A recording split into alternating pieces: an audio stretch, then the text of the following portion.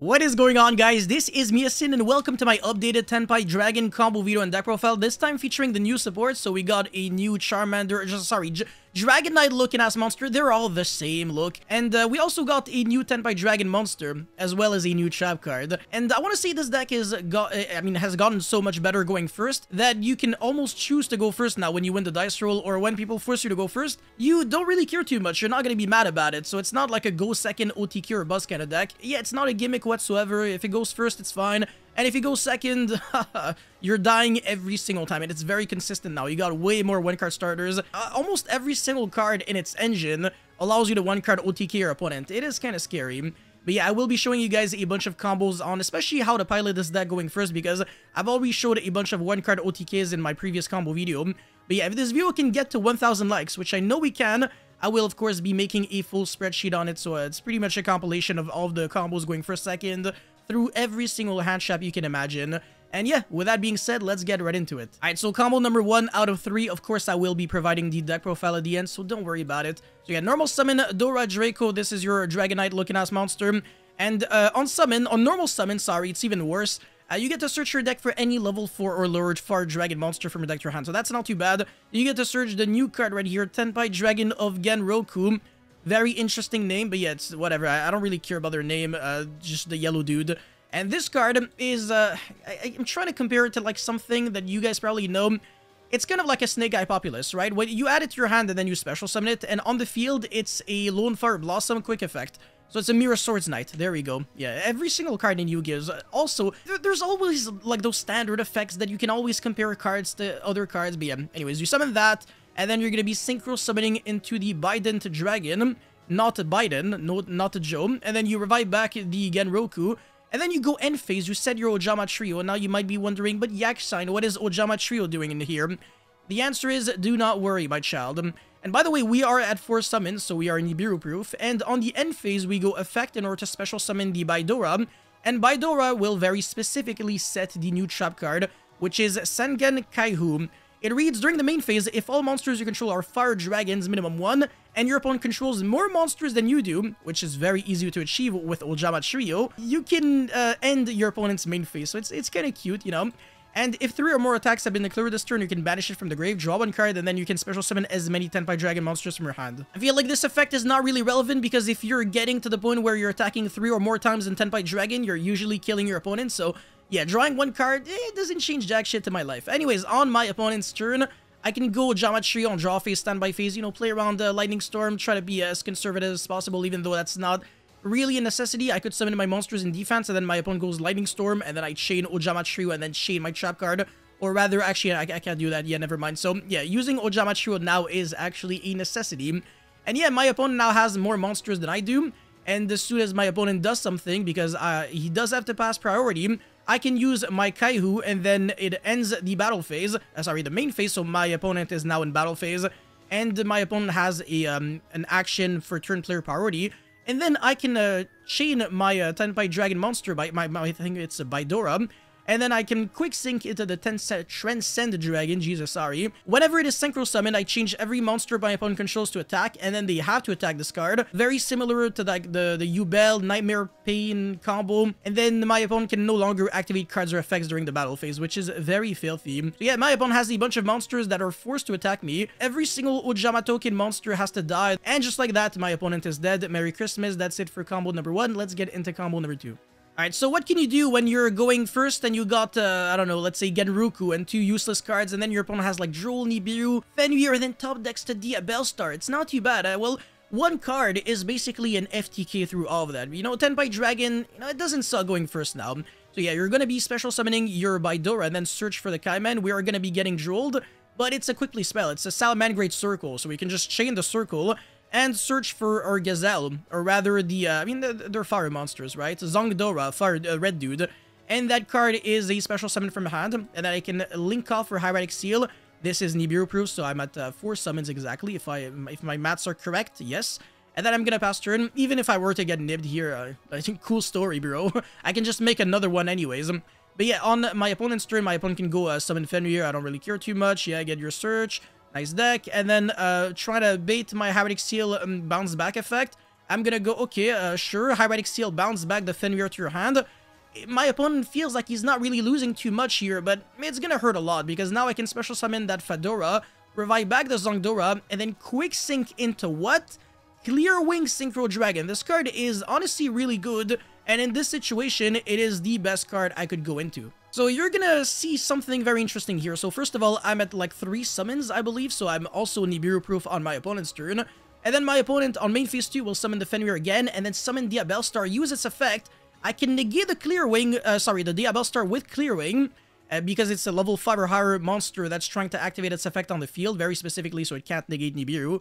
And then my opponent will try to go Fenrir effect Banish, and because of the fact that my opponent is using a monster effect to target a level 5 or higher monster on the field, I can also negate that and then destroy it. So yeah, it has two effects that can negate my opponent.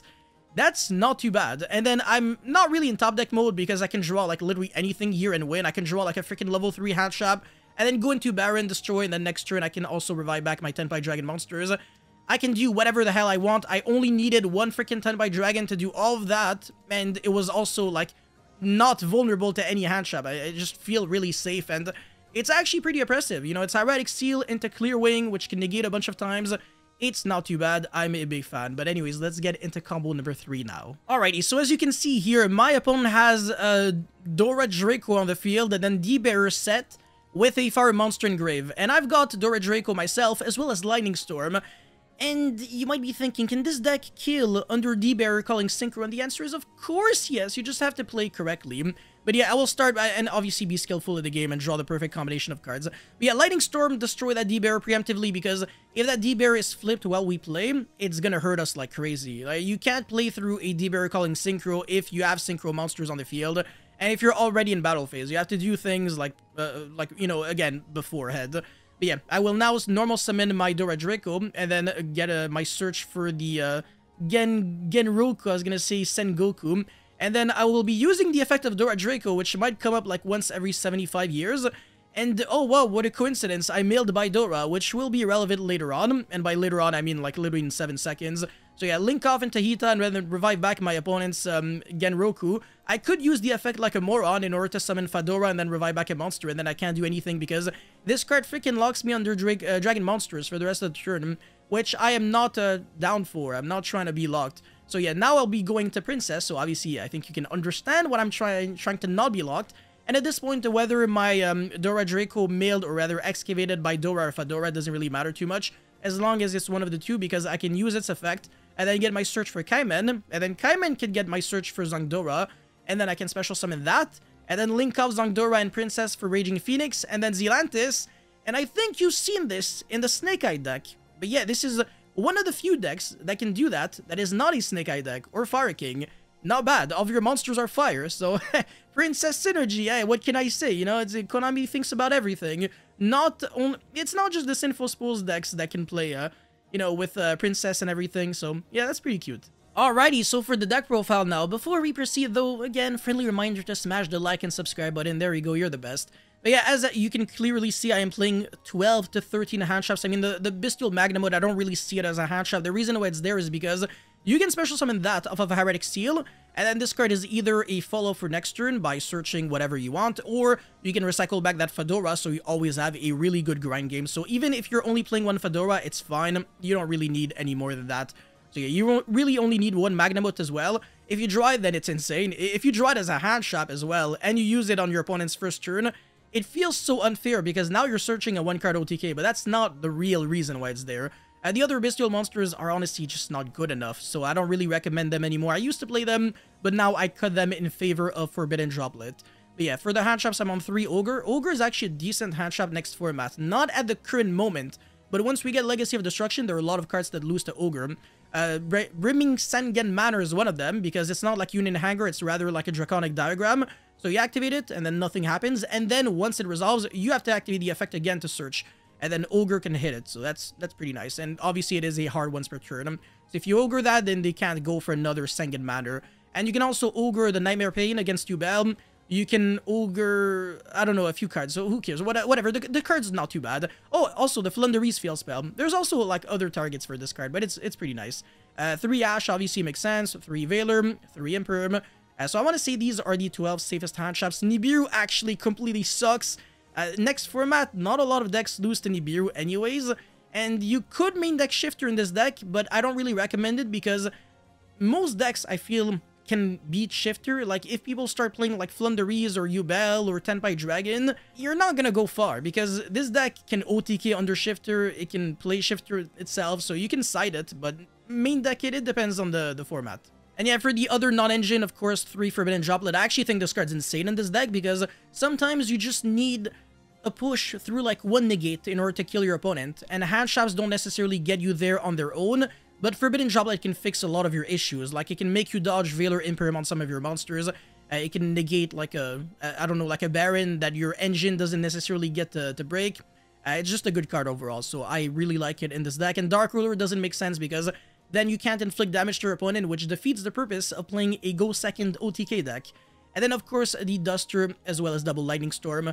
Six board breakers that you can easily excavate with Pot of Prosperity. And again, Prosperity in this deck is tier 0, like completely unfair because it is way too free. You don't care about your extra deck. You can easily banish all your Link monsters going second because, you know, unless you're getting debarriered, you're not really going into Hiita Princess, Raging Phoenix, and Zealantis.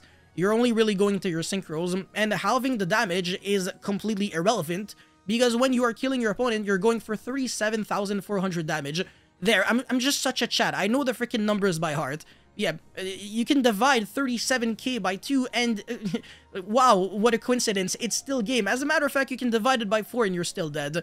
Especially thanks to Trident Dragion. Get that card now before it's too late. Actually, it's already too late now. But yeah, for the by Dragon monsters, you can definitely mess around with the ratios, but 3 by Dora, it could also be 2 by Dora. There's just so many one-card starters, like Genroku, you could be on 1 Genroku or 2, doesn't really matter too much. And then Dora Draco, two, three, one, whatever you want. Uh, it's just a lot of normal summons though, that's my only issue, and usually you're not trying to go over 3 normal summons in your deck, or rather 3 cards that can only really be normal summoned. So if your hand has a bunch of Baidora, Genroku, and Dora Draco, you're not doing anything. You have one layer of play. You go normal summon effect, and then you get stopped, and then you pass. Whereas cards like Zongdora are extenders in your hand, and then Fedora is just like, it's just, it's just like the handicapped kid. It doesn't do anything. Like, it stays in your hand, it doesn't absolutely nothing. It is the brick, like my grandmother always said. But actually, if you if you have Kaimen, then you can do some nice things, you know? Like, you can special, like, you can search something like Genroku and then special summon the Fedora, because you do not have to necessarily special summon the monster that you search, so that's pretty cool.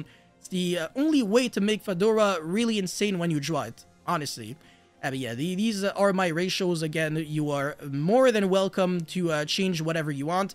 Uh, but the cards that you absolutely have to play 3 are the 3 Manners, 3 Kaimen, 3 Prosperity, obviously, and the Terraforming. Uh, these ratios, I want to say, are set in stone for the most part. For the extra deck, uh, you might want to change a few cards depending on the situation, but I really like one Transcend Dragon with the Trident Dragon, obviously, for the OTK, and then two Bident Dragons, so the first one you can even summon turn 1 when you're going first, and the second one when you're OTKing, or when it gets to a grind game, this card being a 2 of in your extra deck is definitely really nice. You can revive back the Fedora and just keep playing from there. And then we got Black Rose Dragon. You can either quick sync into this card on your opponent's battle phase using Zongdora as well as Baidora or Genroku or Fedora, whatever. Uh, or you can summon this card off of Ruddy Rose Dragon because Ruddy Rose is kind of like a weird crossover between Black Rose and Stardust Dragon, and it has another effect that where your opponent when your opponent activates a card or effect that would destroy a card on the field, you, oh, rather any card, you contribute it and then negate the activation and then special summon the Black Rose from your extra deck or grave. And then that Black Rose doesn't do anything because its uh, pop effect is only on Synchro summoned. And also, it is an optional when effect, so it misses timing. Make sure that you summon this card in Chainlink 1 in order to not make it miss timing. On the other hand, Black Rose Moonlight Dragon never misses timing, but it is a mandatory effect. So it's, uh, it's a good card that you can summon in order to break boards and also be an interruption for next turn. And again, these cards are dragons, so they have nice synergy in this deck, which I like a lot. And then Odd Eyes Meteor Burst Dragon, this card is Exodia in the Mirror Match because everything happens during the battle phase. So if you're just shutting down every effect during the battle phase because this is what this card does, it's a little unfair. So yeah, you can summon this in Voices Voice as well using the Odd Eyes Pendulumgraph Dragon, the Ritual Monster.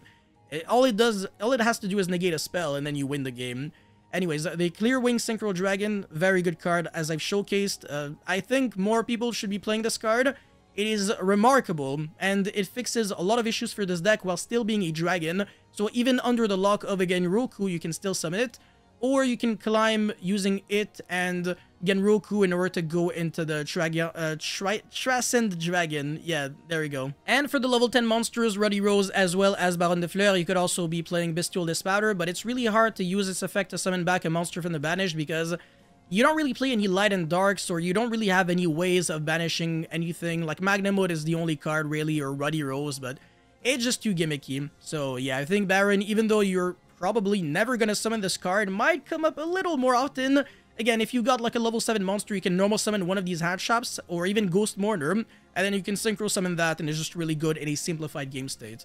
Uh, for the Link monsters, the one Hieratic Seal, you can also play two if you want a better grind game, as well as again the OTK package when you are under D-Barrier calling synchros. Preemptively again, if your opponent is smart and has D-Barrier and you don't have Duster Lightning Storm, you shouldn't do it when you got two monsters on the field and you can synchro summon. You should rather hold it for when you're trying to commit. But yeah, uh, that's it for the main and extra deck. For the side deck, 3 Shifter, I think this is insane in this deck because, again, you can uh, OTK under it. And then Triple Tactic Thrust when you are forced to go first or when you want to go uh, first with it, or even for going second. I mean, this, this card is always good when you can fetch cards like Duster, Lightning Storm, uh, and Triple Tactic Talent, but I don't really like this card too much in this deck. Uh, 3 Cosmic, I don't think you need this, honestly, when you're on double Lightning Storm and Duster. Uh, 3 D-Barrier, of course, right? Rivalry for uh, Dragons, because your deck doesn't uh, lose to... I mean, uh, yeah, you lose to Derek LB1, though. And then uh, the Sengen Kai, who I don't really think this card's too good. It gets a lot of hype, but I actually think it's uh, overrated. And finally, two extra options for the extra deck if you really want to. Samurai Destroyer, really good card. Another card that I think is pretty nice is Cyberse Quantum Dragon.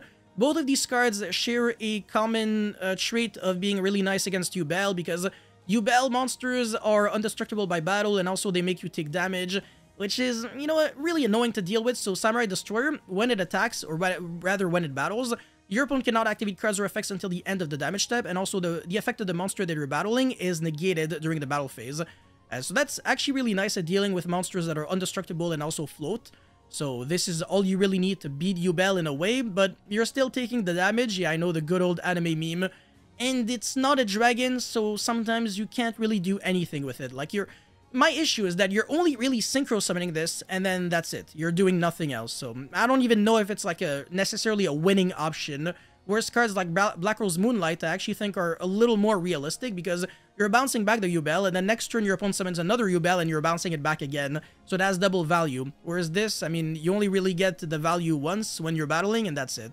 And also its graveyard effect to float into a machine doesn't matter because you're playing zero machines in your deck. And the last card is Typhon. It's not a dragon monster and it's I mean, it, it doesn't really let you do anything extra in this deck, so yeah, it's, I mean, it, it's up to you if you want to play it, but, I mean, you can easily cut some, some cards in the extra deck like Baron or Ruddy Rose or mm, not really Moonlight, yeah, not really. And the OTK package, I mean, it really depends if people are on uh, a D-Barrier or not. But yeah, that's it for this video, guys. Thank you so much for watching. Don't forget to like and subscribe, and I'll see you guys very soon. Peace.